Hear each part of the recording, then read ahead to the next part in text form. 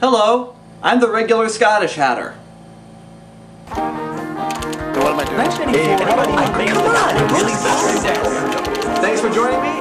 What are you filming for? So recently I was given the opportunity to see a production of one of my all-time favorite musicals, The Secret Garden. This particular production was at the Toledo Rep Theater in Toledo, Ohio, and it was incredible.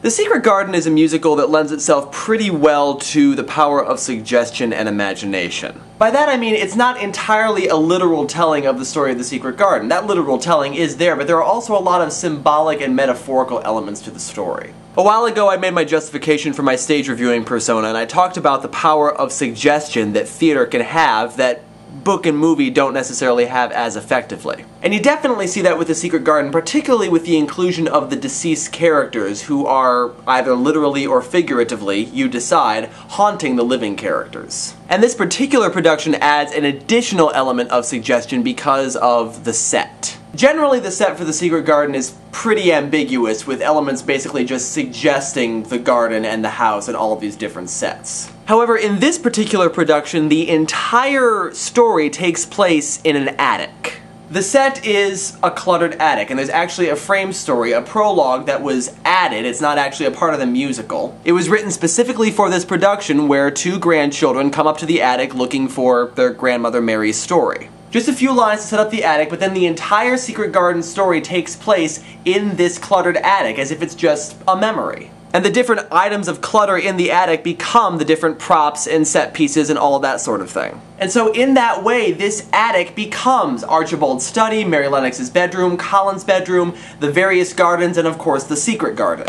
And this is all done through the power of suggestion. I mean, the attic is still there, it's still very obviously there, but the audience believes that they are in these various settings because the actor suggests them, the lighting suggests them, and the various set pieces suggest them. And it's a perfect example of how stage can do this power of suggestion most effectively. And this got me thinking. Storytelling is essentially an act of imagination. I think that's why theater is so compelling in particular, because it relies a lot on imagination. There's literal storytelling too, but at a certain point you have to let the literal storytelling leave off and allow the imagination of the audience to pick it up. That's where the willing suspension of disbelief comes in. We know that we're watching a production. We know we're not actually watching something unfold, but because we have that willing suspension of belief, we allow ourselves to believe for the couple of hours that we're sitting in the theater that we are in fact watching real events unfold. And it also got me to thinking that there is a lot to be said for leaving things to the imagination. I think a lot of times in storytelling, particularly in television and movies, we get so caught up in creating a realistic atmosphere that we forget that storytelling is an act of imagination. And I think some of the most compelling stories are the ones that suggest certain events and suggest certain things happening rather than show them to us literally. For example, at the beginning of The Secret Garden, everybody except Mary Lennox dies of cholera. They die of cholera in the beginning of the stage version, but we don't actually see them dying. There are elements, symbolic elements that suggest their death. In the original version, they had red handkerchiefs that they kind of cast off to show that they had died. In this production that I saw, they actually played a game of musical chairs, and as they disappeared, that was to suggest that they had died of cholera until only Mary was left. Let's take as another example the writings of Aaron Sorkin. I've talked about Aaron Sorkin to death, of course. He writes behind the scenes stuff and he's the creator of the show The West Wing. Oftentimes in The West Wing, an episode would center around a speech that the president had to make, like, say, the inauguration. There's a two-part episode that is basically a build-up to the president's inauguration, and in this speech that he has to give, of course, it's the inauguration, so it's a big deal already, but he's also announcing a radical new foreign policy.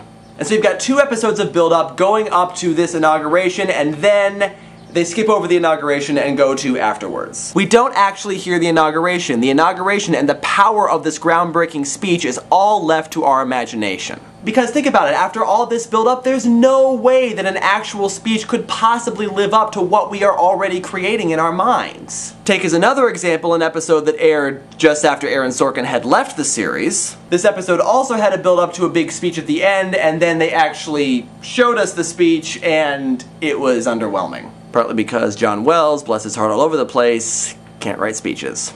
Had they just left off and not actually had us listening to the speech, that probably would have been more powerful because it would have been left to our imaginations. I've been noticing this a lot too with graphic depictions of gore and violence. I recently read one of Alan Moore's graphic novels, A League of Extraordinary Gentlemen. Now, I've reviewed V for Vendetta and I've reviewed Watchmen, and I love them both very much, but I was a little underwhelmed by A League of Extraordinary Gentlemen. And I think part of that has to do with the graphic depiction of violence. It seemed especially graphic in this graphic novel. Like when somebody's brains are being bashed in, you actually see their brains being bashed in. And it's not that I'm squeamish and that I have a problem with gore and violence, but I think that that sort of thing is a lot more powerful if you don't show every single aspect of it. Because once again, our imaginations are much more powerful than anything that's literally on paper or literally on the screen could conjure up. And so if you just suggest the violence in some way, then our imagination picks up where you left off and it becomes a lot more powerful than if you just show it to us.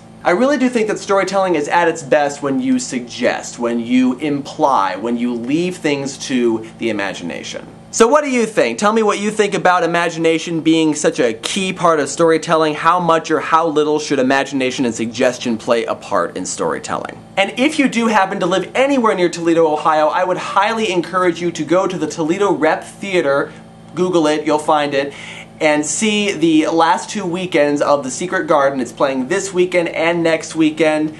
Go see it. It's a little bit pricey if you're not a student, but it is well worth it. And that's all I have to say about that, and until next time. This is Uberrun reminding you that no matter how pretty they are, no matter how much you want to test them out, never, ever roll a die in the store. It will be cursed forever. D&D nerd out.